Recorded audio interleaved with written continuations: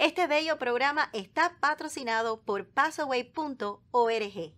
Los adolescentes y el núcleo familiar. Bueno, es el tema a conversación en este bello programa que están todos bienvenidos a Cadena de Vida. Pero no antes tenemos un mensaje de nuestro patrocinador. ¿Sabías que existe un lugar donde puedes plasmar el legado de tus seres queridos? Vivirán mientras los recordemos. Visita passaway.org para más información. Conoce a la plataforma passaway.org. Ahora vamos a nuestra invitada de hoy desde Buenos Aires, Argentina, la pastora Lali Gómez. ¿Cómo está, pastora? Muy buenas tardes, muy bien acá, feliz de estar acompañándolos en esta tarde y compartiendo este tema tan especial que es hablar de los adolescentes. El presente, digamos, de nuestras iglesias hoy. A veces pensamos que es el futuro, pero no, nuestros adolescentes son el presente. Así es, pastora, me interesa muchísimo. Yo sé que hay mucho que conversar sobre los adolescentes y su proyecto como fundadora de la iglesia y como pastora en frente de esta causa tan noble y tan importante. Sí, trabajamos eh, con la Fundación Elegí Sonreír. Es una fundación en la cual hemos eh, iniciado con mi esposo hace 12 años atrás, eh, trabajando con adolescentes y jóvenes en riesgo. sobre todo trabajamos la temática de abuso sexual y con niñas y adolescentes que viven en nuestros hogares. En este momento contamos con 39 chicos, 30 son adolescentes y 8 son bebés. Pastora, ¿Qué le motivó? Yo sé que en la Biblia encontramos obviamente mucho sobre la familia, eh, sobre la educación, eh, sobre fomentar el bien en el ser humano para que el ser humano pueda expandir, desarrollarse, especialmente a temprana edad y pueda ah, pues ser eh, un ser humano que pueda triunfar en la vida y no tener tantos obstáculos y tantas circunstancias que el mundo ofrece eh, que hace que las personas sufran y vayan por caminos eh, donde no tienen un final feliz, sino que se encuentran en, situaciones muy deplorables o, problemas, problemas que, abundan en esta sociedad. Sí, con sus derechos vulnerados, vamos a decir básicamente. En realidad, eh, a raíz de mi propio testimonio personal, fue donde nosotros con mi esposo comenzamos a decir, tenemos que hacer algo. Eh, tengo un testimonio de 10 años de abuso sexual, donde en mi infancia, donde en mi adolescencia, tomé eh, decisiones, eh, digamos, malas decisiones en mi juventud, porque en la niñez uno no toma decisiones propias, sino que alguien las tomó por mí. En la adolescencia pasó exactamente lo mismo. Estaba bajo una familia donde si bien puertas afuera parecía que todo estaba funcionando correctamente, puertas adentro mi adolescencia era un horror. Entonces, esto lo que generó cuando con mi esposo comenzamos a trabajar, es decir, nosotros podemos hacer algo por estos jóvenes.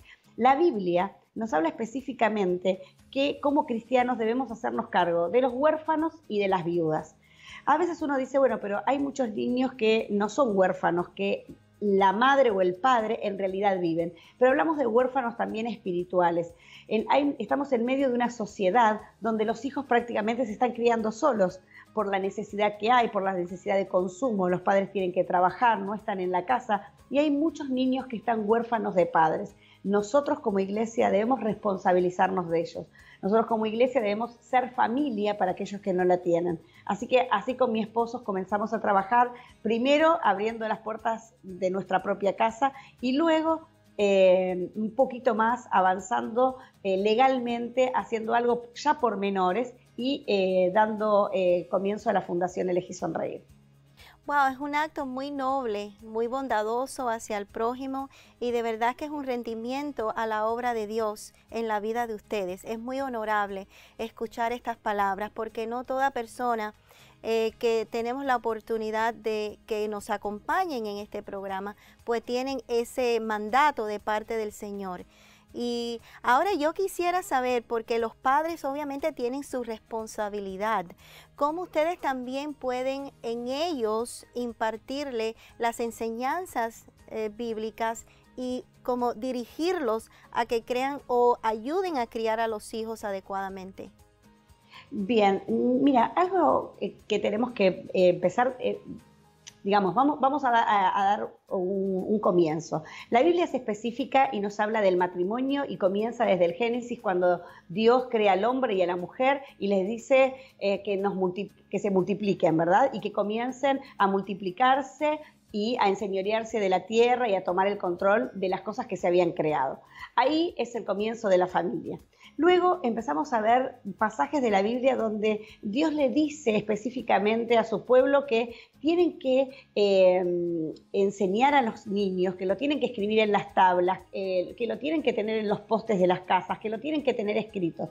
Em, ¿Por qué? Porque la palabra se tiene que ver y la tenemos que hacer que nuestros hijos puedan tenerla eh, a la vista hace poco tuvimos un eh, espacio para la enseñanza de los padres aquí en nuestra propia iglesia, donde eh, presentamos eh, una estadística que habíamos verificado y que empezamos a, ponerla en práctica y nos dimos cuenta que era muy eficaz, es que nuestros niños necesitan no solamente leer la Biblia, orar, escuchar música y servir en la iglesia. A veces pensamos que eh, como son pequeños, como son niños, simplemente nos tienen que acompañar. No, estas cosas que nosotros le vamos enseñando en nuestra casa, que es, por ejemplo, el tener un tiempo devocional juntos, que lo tenemos que hacer desde pequeños, porque a veces uno quiere en la adolescencia lograr objetivos que nunca lo generó como un hábito desde pequeño. Entonces, el adolescente como adolescente normal, ¿qué es lo que quiere hacer? Quiere separarse de la familia. ¿Sí? Cualquier adolescente llega a la adolescencia y dice, bueno, yo soy una persona grande, yo me quiero independizar, yo quiero, eh, no necesito de mamá y papá. Entonces nosotros a esa edad ya le tendríamos que haber generado un hábito de lectura de la palabra, de oración, de la música que escucho. Por eso nosotros los papás somos los responsables de que nuestros niños pequeños que escuchan, que ven. Ahora hay, tenemos la posibilidad de que han eh, sacado eh, hermosas películas para niños, que han sacado este, música infantil, que nosotros podemos hacerle eh, escuchar a nuestros niños desde pequeñitos. ¿Para qué? Para que cuando llegue la adolescencia, para él esto ya sea algo natural. No que nosotros se lo tengamos que imponer porque decimos, bueno, ahora creciste y tenés que... No, desde pequeño. Entonces lo tenemos que tener en claro. Eso es tan importante porque hay muchos padres que no leen la Biblia, visitan la iglesia, escuchan la prédica, pero van a casa y en toda la semana no abren la Biblia. Exactamente. Creo que el, esto del altar familiar, de leer juntos, de pasar un tiempo devocional, a veces uno dice, bueno, no tengo todos los días, Tal vez no necesitamos hacerlo todos los días, pero sí al menos una vez a la semana pasar un tiempo con nuestros hijos. Mira, nosotros como familia tenemos algo especial. Nuestra casa, vos entrás a nuestro hogar y a la derecha de nuestra, mm, en, nuestro living tenemos una vitrina, un, un lugar donde está la Biblia abierta, ¿no? Que la palabra de Dios es la que sostiene nuestra casa. Y luego solemos tener nuestro devocional eh, sobre la mesa de la cocina. ¿Por qué? Porque es el desayuno y el devocional. O sea, comenzamos la mañana alimentándonos de las dos maneras, con el desayuno, porque tenemos que alimentar nuestro cuerpo para comenzar un buen día saludable, y con nuestro devocional diario que está allí en la mesa y que de repente lo lee un día uno, un día otro y lo comparte para todos. Entonces, ese es el devocional eh, matutino y que tal vez no es que es el, tiempo especial. Luego tenemos nuestro tiempo especial como familia, pero todos los días el devocional está a la mesa de la cocina como está el desayuno. Eso ha generado, nosotros tenemos hoy con mi esposo dos hijos mayores, uno de 22, uno de 28, y eh, nuestros hijos siempre estuvieron en el Señor. Damos gracias a Dios porque ellos nunca se han apartado, nunca han dicho, este, la iglesia me pesa, sino por el contrario, eh, siempre le enseñamos que ellos tenían que tener su relación con Dios porque no podían ser nietos de Dios, ellos debían ser hijos de Dios, pero tomándolo como algo de la vida cotidiana, no generando una imposición, sino que así como desayuno leo mi devocional, la Biblia es donde sostengo mi, este, mi vida, es la palabra de Dios donde se sostiene la familia. Y esto fue generando la confianza de poder todos los días saber que tal vez un día nos equivocamos y pedirnos disculpas, eh, algo nos sale, mal y lo intentamos otra vez, pero generar un hábito eh, no como que la iglesia estuviera afuera de nuestra vida cotidiana, sino que la iglesia, la vida cristiana, es nuestra vida natural, nuestra vida cotidiana. Y eso hace que nuestros niños, hace que nuestros jóvenes, desde pequeños, empiecen a mamar y para ellos no sea una imposición, sino que sea parte de su vida servir y seguir a Dios. Pastora, ¿usted cree que por eso hay muchos casos de los cuales quisiera que compartiera algunos eh, para abrir mucho más la conversación y entrar más a profundidad de lo que algunas de las personas que nos están viendo, escuchando o están viviendo o conocen a alguien que está viviendo esta situación?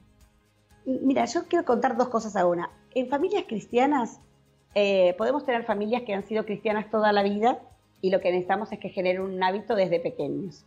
Ahora, tenemos eh, la situación de estas familias que llegan a Cristo cuando ya vienen con hijos adolescentes. Y la pregunta es, ¿cómo hago, ahora para que mi hijo adolescente pueda entender que yo estoy realizando un cambio de vida y que estoy eh, aceptando a Cristo ahora? Porque este es el mayor problema que tenemos. Hemos vivido una vida durante muchos años y hoy acepto a Cristo. Bueno, tiene que ser una vida, la Biblia habla de cartas abiertas. Mi vida tiene que ser una carta abierta. Entonces, desde el primer momento donde yo comienzo una nueva vida, ¿qué tengo que hacer? Lo tengo que compartir con ellos, sentarlos a la mesa y decirle, bueno, hijos, acá hoy quiero contarles lo que empezamos a vivir como familia. A partir de hoy, nosotros vivíamos una vida, teníamos una forma de, mm, eh, comunicarnos, teníamos una forma de vivir, pero entendimos y encontramos que esta es la única y buena manera de vivir. A partir de ahí, mostrarles de que lo otro era erróneo y que ahora vamos a empezar algo nuevo, que seguramente vamos a tener que aprender juntos, que habrá que modificar cosas, que tendremos que este, empezar a aprender una nueva manera de comunicarnos y que lo vamos a hacer juntos. Esta manera va a generar en el adolescente, en el chico, una inquietud en su corazón. Va a decir qué es lo que está sucediendo. Y si ellos pueden ver que este cambio realmente está sucediendo dentro de mí y que estoy poniendo lo mejor, seguramente ellos me van a probar de alguna manera, pero va a ser mucho más fácil esta comunicación, va a ser mucho más fácil el poder mostrarles a un Dios real y verdadero. Nosotros tenemos el caso y por eso se los quiero compartir, nosotros tenemos los hogares convivenciales. Si bien mis hijos naturales ya están en el Señor, nosotros recibimos en los hogares convivenciales jóvenes que vienen con historias de vida muy fuertes. Como les decía, trabajamos con abuso sexual y violencia doméstica. Así que vienen niñas, porque trabajamos con mujeres, entre 12 y 17 años, donde sus vidas han sido maltratadas, golpeadas, abusadas eh, y bien descreídas de todo. En primer lugar, descreídas de que haya alguien que las pueda amar desinteresadamente. En segundo lugar, que puedan creer que hay un Dios, porque ellas eran pequeñas cuando esto les sucedía. Entonces, ¿cómo puede ser que hay Dios y no me cuidó y no me guardó de esta situación? Y en tercer lugar, el pensar que se puede construir algo diferente. Yo lo que suelo hacer es eh, agarrar una hoja en blanco y decirles, les doy un lápiz y le digo, bueno, em, empieza a escribir a partir de hoy tu vida comienza diferente. Hasta acá alguien escribió la historia por vos, hasta acá alguien decidió por vos. A partir de hoy vos vas a escribir tu historia. Yo te voy a acompañar en la escritura de esta eh, historia. No voy a ir más allá de donde vos me permitas, pero voy a darte algunas, ¿sí? Algunas pautas. Entonces ahí la, la empezamos a acompañar. Somos un equipo, trabajamos en equipo, le mostramos eh, por ejemplo, eh, la oportunidad, le mostramos eh, que se puede comunicar de una manera diferente. tratamos de no horrorizarnos cuando nos vienen a contar sus temas tan fuertes de vida, sino como tomarlo como, bueno, algo que sucedió que no puedo cambiar, porque yo no puedo cambiar lo ya sucedido, lo que puedo modificar es el presente y el futuro que tengo por delante. Entonces, mostrándole, yo suelo mostrar una cicatriz que tengo en mi cuello y le digo, mira, esta cicatriz te habla de una operación que tuve. Tuve mucho dolor, me dolió, eh, tuve que vivir un tiempo de recuperación, no podía mover mi cuello libremente. hoy te lo estoy contando desde este lugar, ya no me duele y lo que me quedaron fueron cicatrices. Yo quisiera que vos en unos años más adelante pudiéramos hablar de tu historia de esta misma manera. No lo vamos a poder borrar de tu vida porque fue parte de tu vida, pero va a quedar una cicatriz donde vos me vas a contar. Entonces, yo te quiero invitar a... Hay dos posiciones donde te puedes poner, en víctima o en protagonista. Víctima es quedarte en ese lugar y toda la vida vivir del recuerdo de eso que sucedió alguna vez. Y protagonista es empezar a vivir una historia diferente de aquí en adelante. A veces me preguntan, pero son jóvenes, son eh, chicas, chicas, porque estamos hablando de chicas de 12 años, 11 años.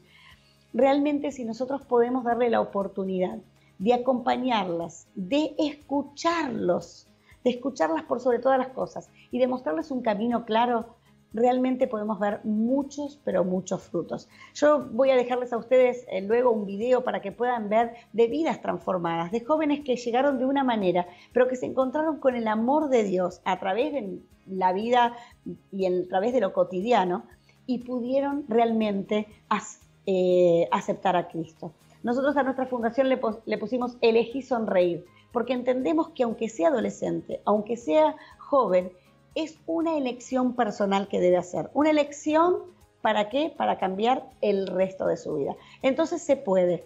Si vos sos un papá o una mamá que nos está mirando ahora y decís, bueno, tengo un joven o una joven que este, es rebelde, que no me escucha, eh, yo te hago una pregunta. ¿Lo has escuchado? ¿Te has sentado a escucharle y a prestar atención a los reclamos? No para justificar sus reclamos, pero simplemente para escucharlo. Vas a ver que cuando te sientes y lo escuches, realmente vas a ver un cambio en ese joven. Así que hay mucho, mucho por hacer en la vida de los jóvenes nuestros.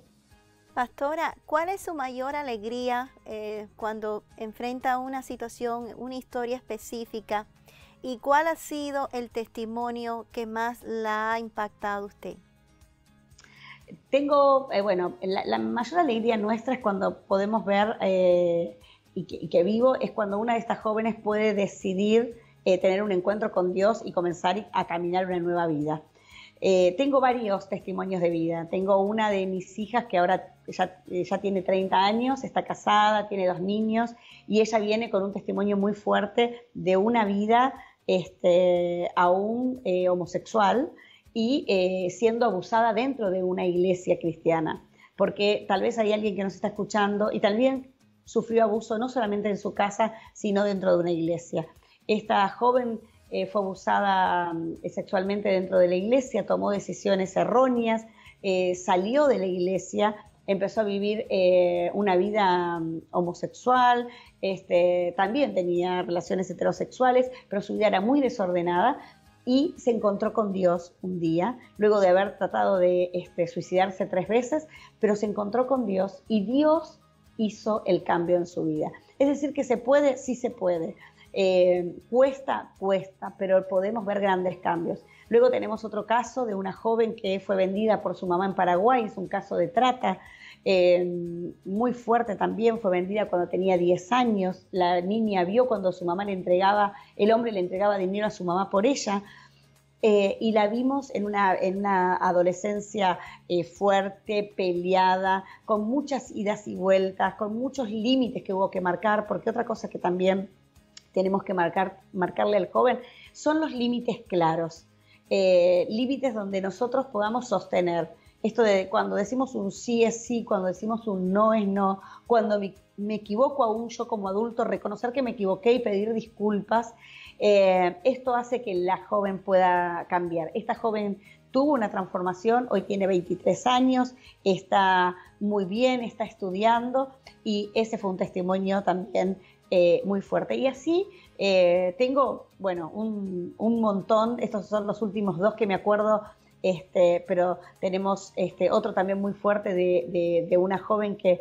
sus papás, eh, su mamá y su padrastro están detenidos porque eh, abusaron también sexualmente de ella, pero ella también decidió eh, salir de ese lugar de víctima para convertirse en protagonista de su propia historia. Es decir, que se puede, claro que se puede. Lectura de la palabra, oración, la música que escuchamos, el entorno, las amistades Yo digo, nosotros los padres elegimos las amistades de nuestros hijos. Entonces, aún, mira, vuelvo para atrás, perdón, vos me hiciste una pregunta, pero vuelvo a otro tema para atrás. Nosotros somos responsables de qué colegio los vamos a mandar a nuestros hijos, porque la escuela también es importante, el entorno con los que nuestros niños se van a relacionar también es importante. Tengo una historia negativa de, una persona que eh, los mandaba a la escuela, todo muy bien, pero me acuerdo que ella venía a la reunión y le preguntaba, ¿y tu hija? Ah, la mandé a un cumpleaños, así puedo disfrutar de la reunión tranquila. Y así pasaba que una reunión la mandaba a un cumpleaños, a otra. Entonces su niña creció entendiendo que no era tan importante venir un domingo a la iglesia. Es el día de hoy que esta joven aún está apartada. Eh, ¿Por qué? porque daba lo mismo venir a la iglesia, no venir a la iglesia. Aún sus padres son cristianos y están lamentando esas decisiones que dieron en su este, infancia a la niña. Por eso nosotros somos responsables de cada acto de nuestros niños. Nosotros decidimos con quiénes se juntan, quiénes son sus amistades, a qué casa van a pasear, dónde vamos las leyes ahora nos están apurando y nos están como eh, apretando un poquito. Nosotros tenemos que seguir firmes, luchando para seguir tener, tener la oportunidad de poder brindarle lo mejor a nuestros hijos. Pastora, usted tiene la oportunidad también de ir a las cortes. ¿Cómo es ese desenlace? Bueno, ir a las cortes es bastante difícil, pero eh, tengo la satisfacción de poder entender de que cuando nosotros somos claros en el mensaje a los jóvenes, los jóvenes reciben el mensaje claramente. Por eso cuando voy a hablar con, hoy a la mañana estuve eh, en un juzgado y hablamos justamente de una niña de 12 años en la que estamos haciendo un, la estamos acompañando y eh, me decían, ¿cómo vimos el cambio de hace un mes ahora? Y me reía y le decía, bueno, este mes fue duro para mí también, porque tuve que tomar algunas decisiones, tuve que ser firme en algunas este, cuestiones que tuve que ponerle a la niña, como por ejemplo, la tuve que cambiar de una de las casas nuestras, de la casa hogar, para otro lugar. Eh, tuve que ser firme a la hora de cuando esta niña este, eh, rezongaba, se enojaba, hacía algunas situaciones difíciles en el hogar, pero eh, el control lo tenía que mantener yo. Es decir, que yo tenía que mantener mi, simpatía, yo tenía que mantener el control de mi carácter, yo tenía que mantenerme estable. ¿Para qué? Para lograr que esta niña viera que lo que yo estaba haciendo por ella era lo mejor. ¿Qué me pasó? Hoy cuando voy al juzgado, el juez me dice, realmente pude ver en este último mes un cambio contundente en esta vida. Le digo, Casi, casi le digo, eh, señoría, se la traigo con valija. Se reía el juez cuando le dije esto, eh, me dice, te lo creo. Realmente, doctor, le digo, me llevó tiempo, pero vale la pena, pero hay que estar nosotros dispuestos porque la responsabilidad es nuestra. Pastora, ¿cómo la iglesia, los líderes pueden ayudar a ir contra esto que está acabando con estos adolescentes, la familia. Estamos en los últimos tiempos y me imagino que usted está viendo más casos que antes o que a lo mejor en un pasado. Estamos viendo muchos casos, en realidad el tema de las redes y el tema de, la comunicación ahora hace que algunos casos sean más eh, visibles, pero en realidad estas cosas sucedieron siempre. Eh, lo que sí creo es que la iglesia se dejó estar durante mucho tiempo pensando de que eh, todo iba a estar más o menos el orden establecido. Pero no, vos fíjate que hay em, grupos que son más pequeños que nosotros, pero que están en los lugares que tienen que estar. Nosotros necesitamos estar en esos lugares donde se deciden las leyes, en esos lugares donde se deciden las cuestiones importantes y tenemos que prepararnos. La iglesia tiene que estar preparada para estar en ese lugar y la palabra de Dios es clara y tiene un mensaje claro para cada situación. Entonces, eh, nosotros como fundación este año ya participamos también de la OEA, nos estamos preparando para ir a la ONU, nos estamos preparando para tener personas claves en lugares claves donde las cosas se deciden. No solamente eh, en, lo cotidiano de la vida de la persona, sino también donde las cosas se deciden. Entonces creo que ahí es donde tiene que actuar la iglesia, estar en el lugar donde las cosas se deciden. Me alegra muchísimo que todo esto está aconteciendo y que usted está de frente haciendo y marcando la diferencia. Así que la felicito. Quisiera que nos compartiera un mensaje para las personas que nos ven y nos escuchan. Bueno, el, mensaje que tengo más que nada es, como les decía recién, nosotros somos los responsables eh, de nuestros hijos. Si tenés hijos pequeños, que sepas que este es el tiempo donde Dios te los entregó para que vos eh, instruyas, dice la palabra, instruye al niño en su camino, desde pequeñito. No, pero no entiende, sí entiende. Sí, el, la palabra de Dios no vuelve nunca vacía, dice la palabra. Entonces, dar esos mensajes claros, elegir dónde va a estudiar, elegir con quién se relaciona, elegir las amistades, ser totalmente transparente, no tener una vida eh, religiosa nada más, sino tener una vida de carta abierta, que cualquiera pueda ver mi vida transparente en Dios. ¿Qué significa esto? Que cuando me equivoco pido disculpas, que este, la vida en Dios pasa a ser cotidiana. Eso cuando un niño es pequeño. Cuando un niño es adolescente, lo acompañamos. Si venir, tenemos la gracia de Dios de ser una familia cristiana de toda la vida, lo único que hacemos en la adolescencia es fortalecer aquello que ya de pequeño nosotros fuimos colocando los cimientos. Ahora, si recién empezaste a caminar en el Señor y tienes un hijo adolescente, yo quiero decirte que no pierdas la esperanza. Dios nos habla específicamente de que nosotros podemos hacer el cambio. Podemos hacer el cambio como siendo testimonios de vida. Una vez más, siendo una carta abierta para este joven que está viendo quién hoy soy yo. Entonces, si yo muestro una vida clara, si yo les eh, voy directamente, si yo les hablo y por otra cosa, no solamente les hablo, sino que les doy la oportunidad de escucharlos y de prestarles una escucha activa. ¿Cómo es la escucha activa? No solamente eh, escuchando lo que dicen y dándome vueltas, sino prestando atención y mostrando que lo que me dicen realmente me interesa y tratando de buscar un aporte a esto que me están solicitando, vamos a ver que ellos van a ver a este Dios poderoso. Y por supuesto, mientras que estén bajo nuestro eh, cuidado, hacer que nuestra casa eh, se escuche las canciones cristianas, se lea la Biblia, tengamos un tiempo devocional juntos y también sirvamos a Dios juntos. Buscar algo que como familia podamos brindarle a la iglesia juntos. Eso es fundamental. Los chicos van a ver que como familia estamos felices y cuando la familia comparte todo este tiempo espiritual, Dios ahí derrama realmente bendición. Así que Siempre estamos a tiempo, nunca es tarde para mostrar el amor de Dios sobre nuestras vidas, para que sea reflejada y ellos también sean salpicados del poder de Dios. Gracias, pastora. Estamos llegando al final del programa y yo quisiera que tomara esta oportunidad de hablar sobre su iglesia, eh, la congregación y algo más que tenga en su corazón que quiera compartir. Bueno, no, simplemente aquellos que quieran ver el trabajo que hacemos nos pueden buscar en las redes sociales. Eh, nosotros tenemos, por un lado, la iglesia, que es Iglesia de la Cruz oficial, y por otro lado, todo el trabajo que es, social y que tiene que ver con los hogares convivenciales, con los comedores infantiles que apoyamos, en las escuelas, porque damos talleres en las escuelas, que es Fundación Elegí Sonreír. Ahí pueden buscarnos en las redes, pueden ver lo que estamos haciendo, pueden ser parte, pueden apadrinar niños, nos pueden acompañar con este trabajo y las redes sociales también me pueden encontrar como Lali Gómez JW. Eh, Lali com y latina, porque siempre me buscan con la Y y soy con y latina. Este, así que ahí pueden estar viendo, pero eh, somos la iglesia de Cristo. Así que donde estés, no dejes de buscar un lugar donde congregarte, donde eh, estar como familia juntos, donde servir.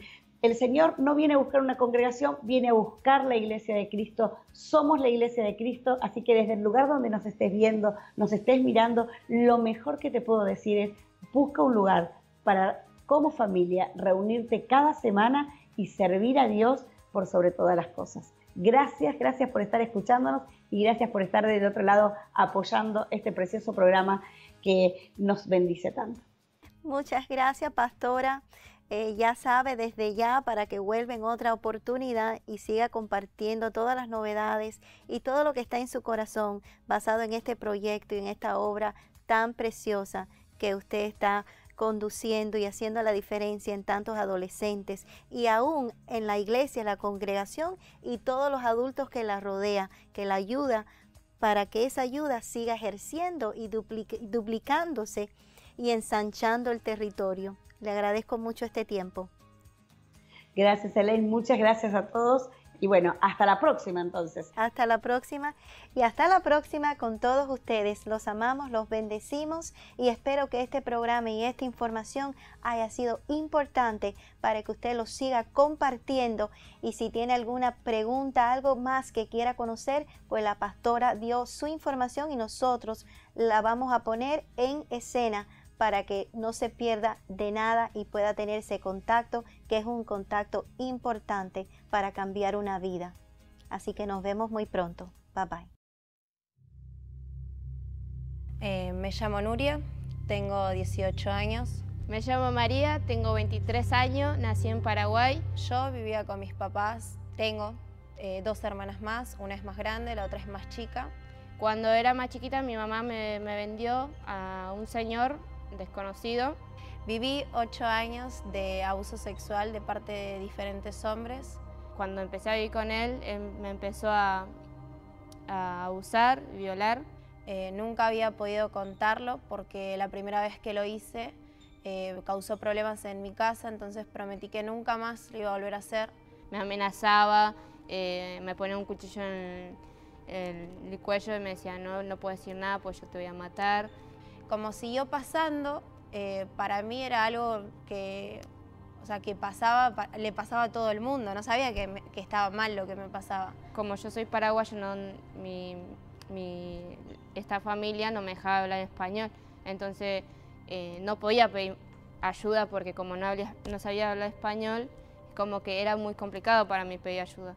Y un día eh, uno de los vecinos me empezaron a hablar y preguntarme lo que pasaba y yo me atreví a contarle, eh, por más que fue una amenaza, siempre me amenazaron también y bueno, dije, voy a hablar.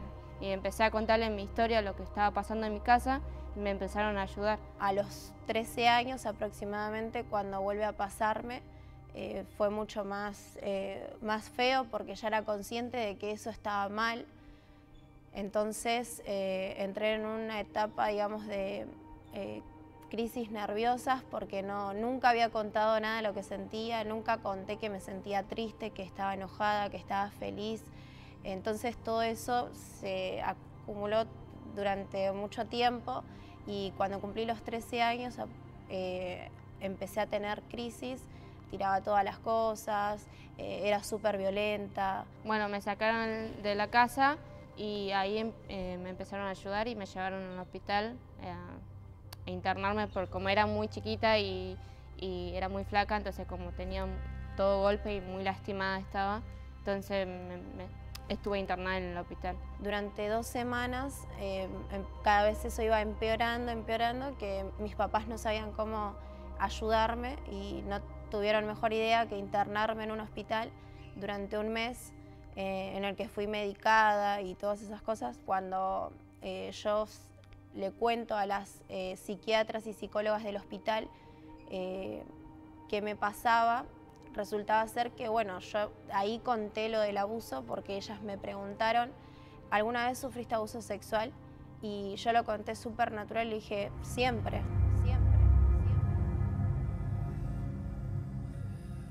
Cuando empecé a llegar a la fundación fue como dije, encontrarme con gente loca, en el sentido loca de te daba mucho amor y era como que fue como chocante para mí porque es como que nunca recibí amor y fue para mí un, algo, había un hombre ahí y justo ese eh, Ale Gómez recibiendo con un abrazo así gigante y me dijo, te amo, hija. Y cuando, empecé a, cuando me empecé a decir te amo era como que el rechazo total hacia él porque eh, el que me lastimó fue un hombre, entonces fue como que rechazo a él.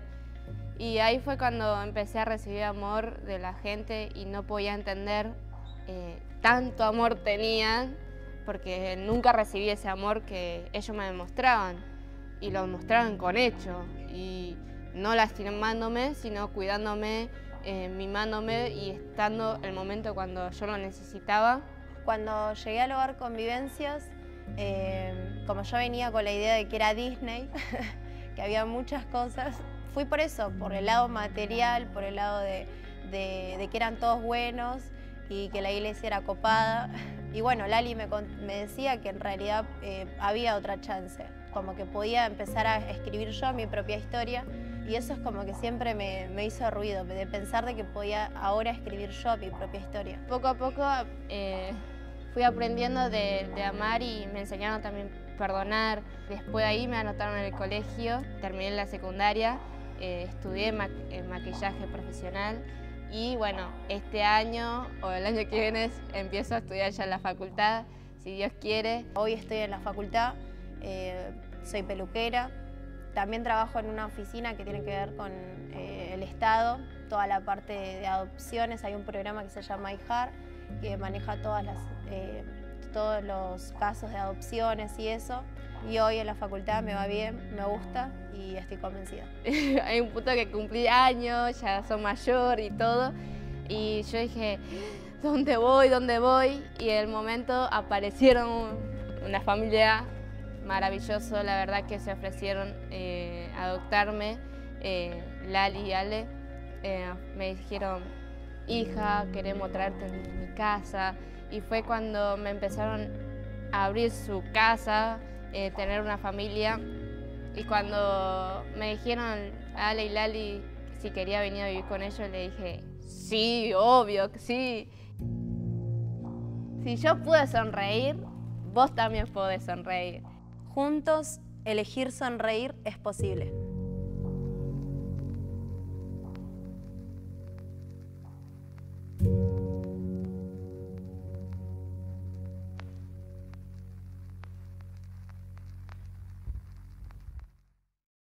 Acabas de sintonizar el programa Cadena de Vida, conducido por Elaine Enrique, junto a la gerencia ejecutiva de Passaway. Te invitamos a visitar la web www.passaway.org o llama a los teléfonos 1844 Passaway o al 1855 Passaway o escríbenos al correo info arroba Te invitamos a sintonizarnos el próximo miércoles desde la las 7 de la noche, solo aquí, por tu emisora favorita, OVM Radio y OVM TV, tu emisora informativa en línea para una vida cristiana mejor.